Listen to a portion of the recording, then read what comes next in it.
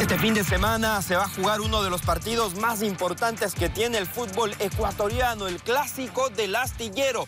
Y segundo, Alejandro Castillo habló y brindó una conferencia de prensa ya como entrenador de Barcelona. Aseveró que el conjunto torero va a pelear por esta segunda etapa para intentar llegar a la final del certamen ecuatoriano. En la final ya está instalado el cuadro de Independiente del Valle, a pesar de los resultados que han sido adversos y por eso desencadenó en la salida del entrenador argentino Ariel Holland. El plantel está listo para este gran compromiso ante su tradicional rival Emelec y además no se va a alejar del proyecto que tiene Barcelona de proyectar a jugadores juveniles de sus canteras al equipo de la primera división.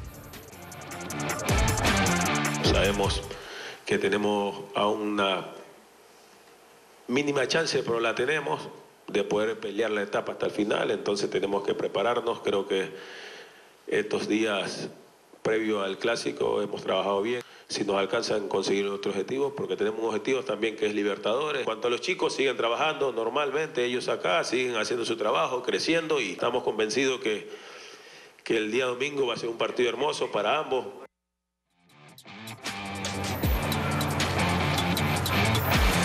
Lo olviden, pueden votar con el código QR, sí, a tomar sus celulares y escanear el código que ya aparece en sus pantallas para definir si Ecuador puede quedar campeón de la final del Sudamericano Sub-15. Ecuador se puede consagrar como el dueño del título en el Sudamericano que se disputa en Bolivia va a disputar la gran final contra Paraguay. Justin Lerma, el jugador vendido al Borussia Dortmund, es una de las figuras y el equipo es dirigido por el histórico Juan Carlos Burbano, que estuvo en el Mundial 2002 como futbolista. Así es que ya lo saben, a votar inmediatamente para decidir si la 3 Sub-20 será campeón.